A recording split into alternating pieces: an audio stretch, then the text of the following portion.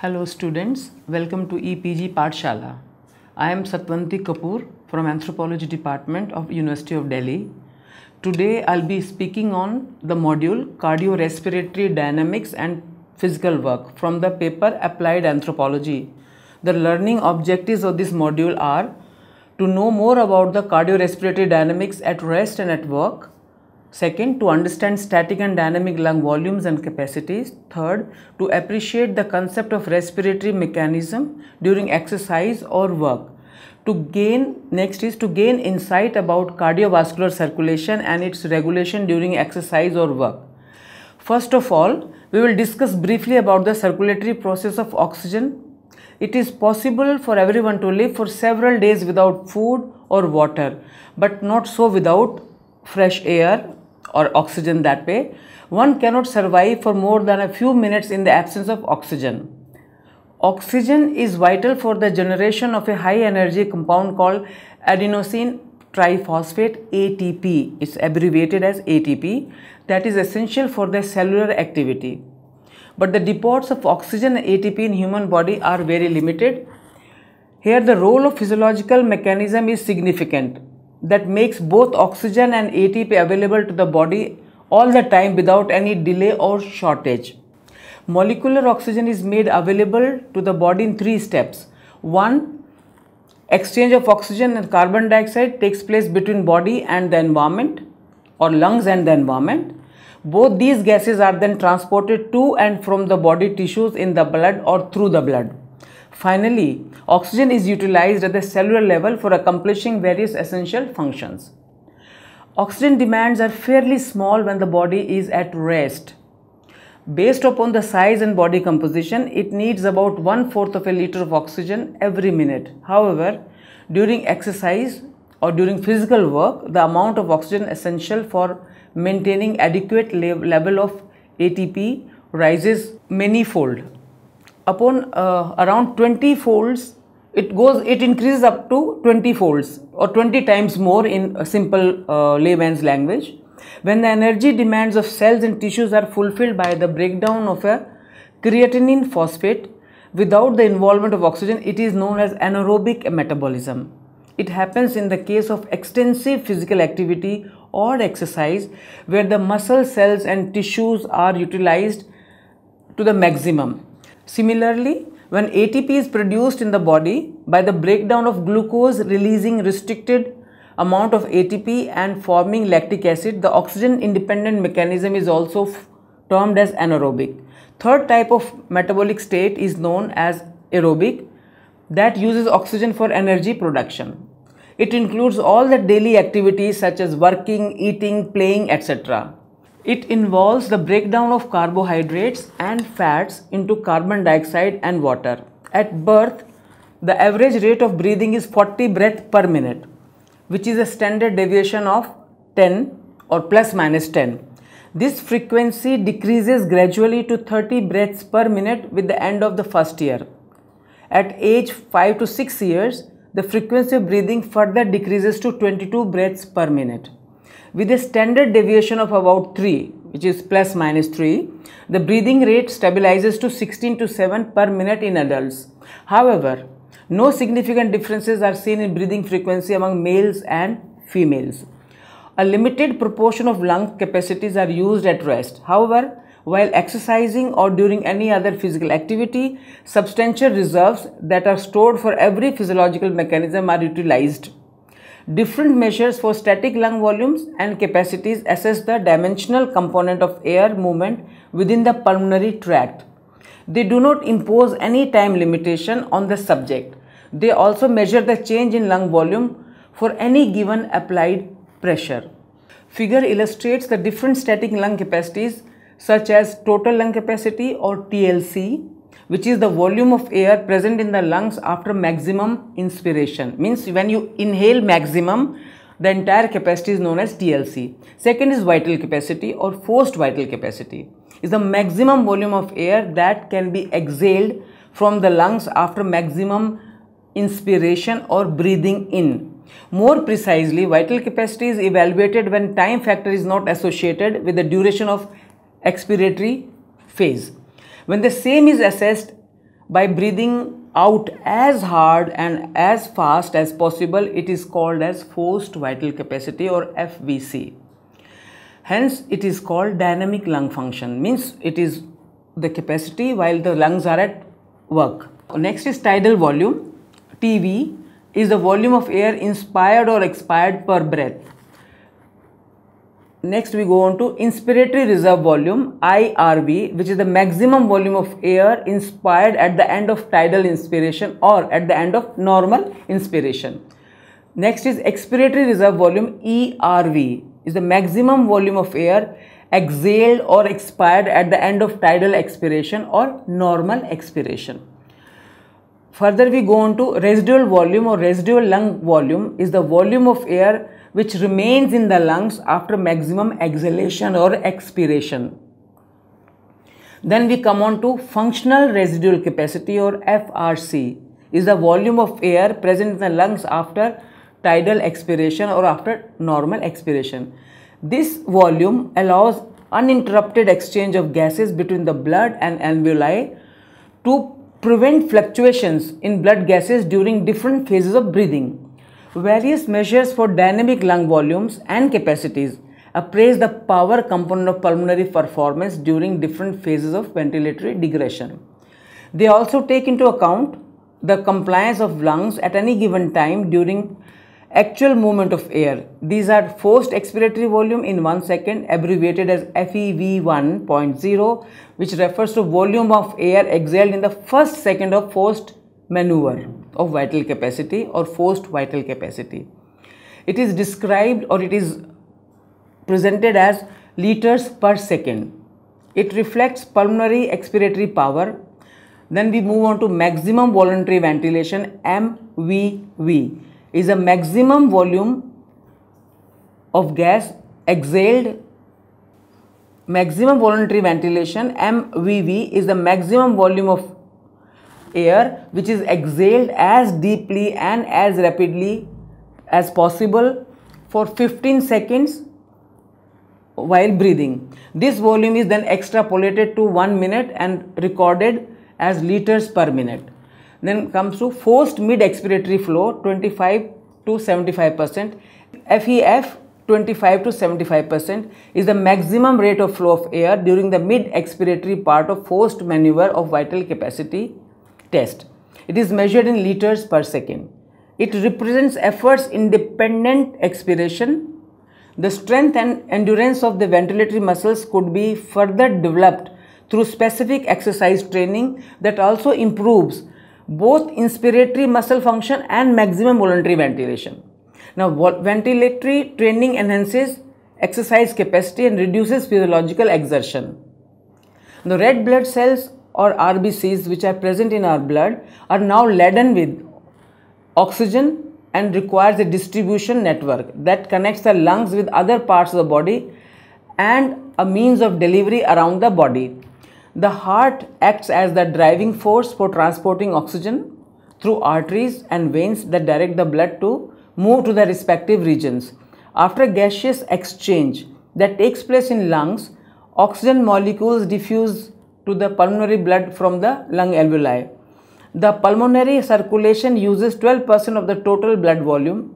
There are four major blood vessels that supply blood to the lungs. The left and the right pulmonary arteries carry deoxygenated blood from the right atrium of the heart to the lungs. While the left and right pulmonary vein bring blood rich in oxygen or oxygenated blood which you all commonly know from the lungs to the left side of the heart. The part of the circulatory system that feeds lungs is called the pulmonary circulation, while the other one that feeds the rest of the body is called systemic circulation. Following processes are of immense importance while studying the dynamics of circulatory mechanism such as heart rate, mean stroke volume, cardiac output and systolic diastolic blood pressure. Heart rate is the rate at which the heart pumps blood, means it's the ventricular contraction per minute. It is recorded as beats per minute. On an average, heart rate at rest is around 72 beats per minute.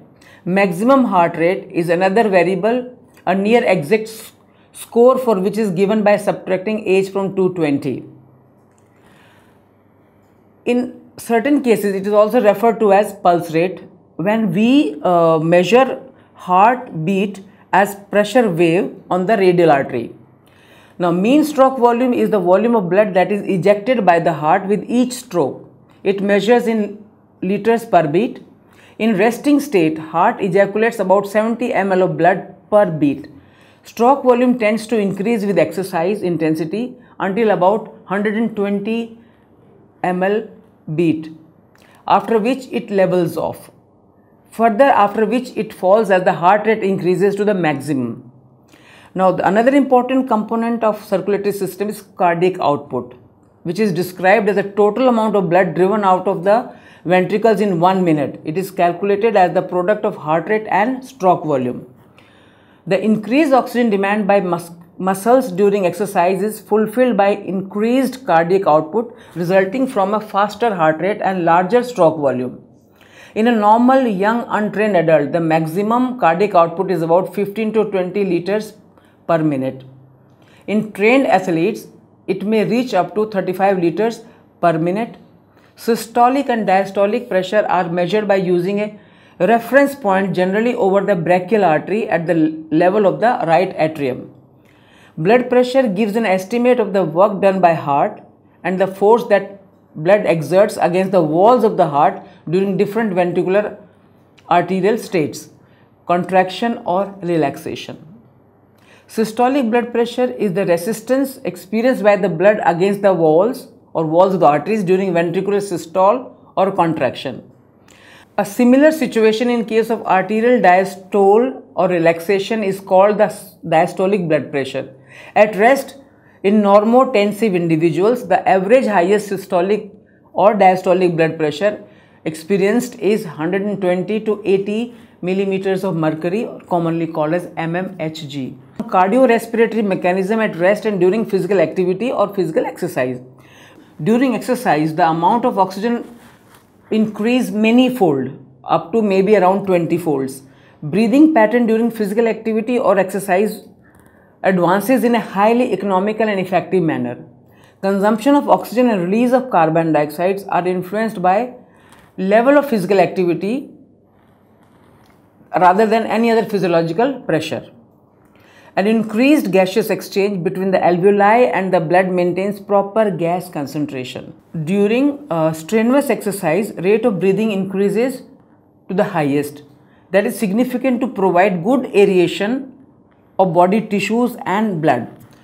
To oxygenate the increased blood flow that is required during physical work or exercise, the person starts taking deeper breaths and breathes faster maybe up to 40 to 60 breaths per minute. When the normal metabolic need of consumption of oxygen and removal of carbon dioxide in pulmonary ventilation get increased to an abnormal level, it leads to a very strenuous condition called as hyperventilation, also known as overbreathing. It gradually stabilizes the normal rate of gas exchange in the body However, few seconds of hyperventilation may cause excessive carbon dioxide unloading and lightheadedness. Blood flow through the pulmonary circulation increases while exercising or during any activity.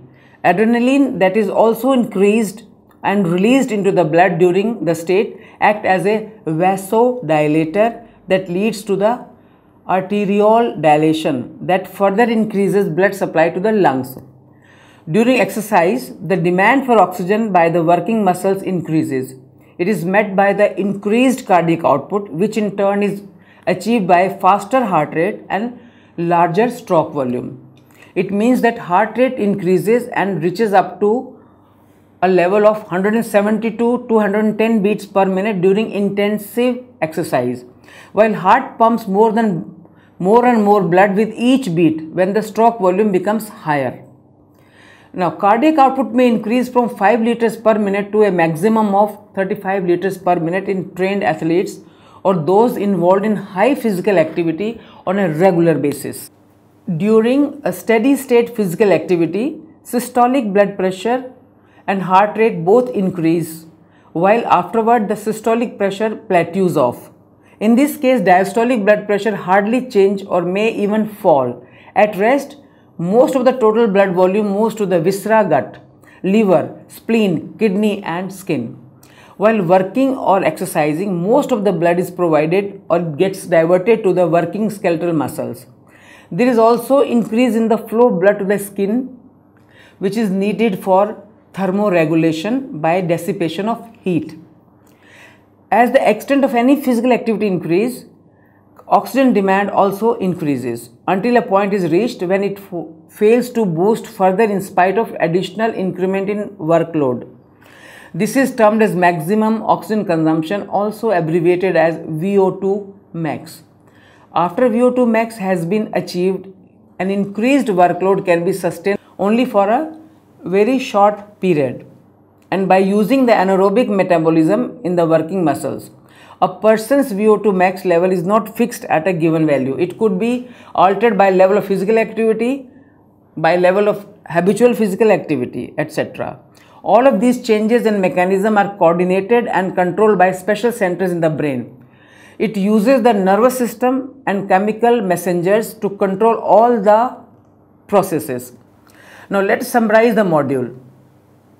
In a brief uh, summary, I'll be speaking on to. One cannot survive for more than a few minutes in the absence of oxygen, which is really essential for all our body functions. Oxygen demands are fairly small when the body is at rest. Based upon the size and body composition, it needs about one fourth of a liter of oxygen every minute or per minute.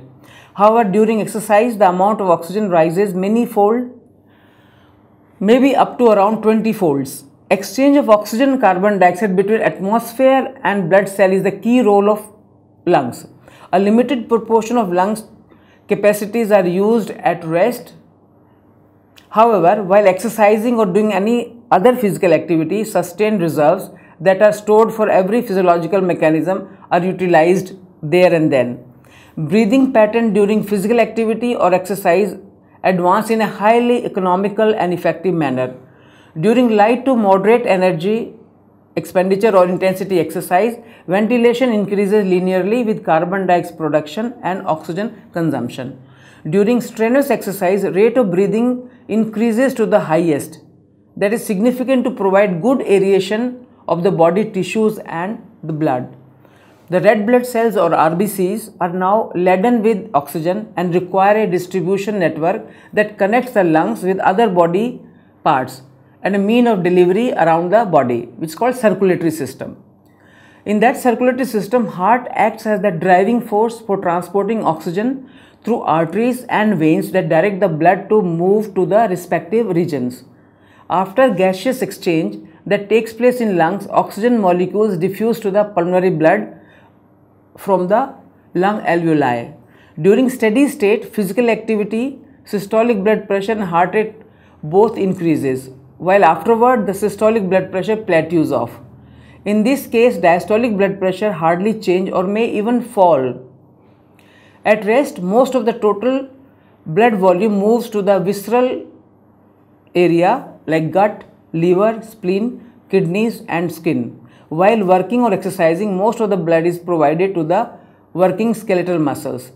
And there is also at during the strenuous exercise, there is also increase in the blood flow to the skin for thermoregulation or for dissipation of heat. So this is all uh, in this module. Thank you very much.